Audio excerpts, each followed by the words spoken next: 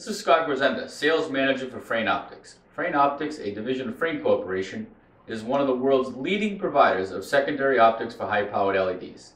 I am here to introduce Fraen's latest addition to our technology and innovation initiative. This initiative was originally developed in 2004 when Fraen became the first supplier of secondary optics for high-powered LEDs to introduce automation into the entire manufacturing process. Fraen added automation to the manufacturing cells to reduce the amount of human involvement in the production process.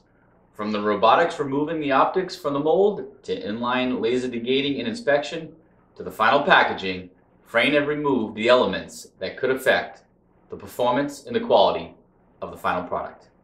The benefits of this technology are greater consistency in quality, increased throughput, lower labor costs, and less waste due to improper handling. In 2012, we started phase two of our technology and innovation initiative. Phase two was to develop a packaging scheme that would allow our customers to take advantage of many of the same benefits. Fraen invested in additional packaging equipment and we launched our first product, the F360 side emitting lens, which shipped on tape and reel rather than bulk or in trays. In 2013, Fraen expanded the number of products available in tape and reel packaging. These products include our new 10mm FMT series, available in medium, flood, and elliptical beam distributions, our 10mm FLT series, available in medium, wide, and elliptical beams, and our revised F360L side emitter, now molded exclusively in polycarbonate material.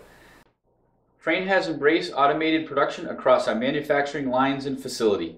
With the advent of tape and reel packaging, Fraen now enables our customers to more fully realize the many benefits of automated manufacturing processes.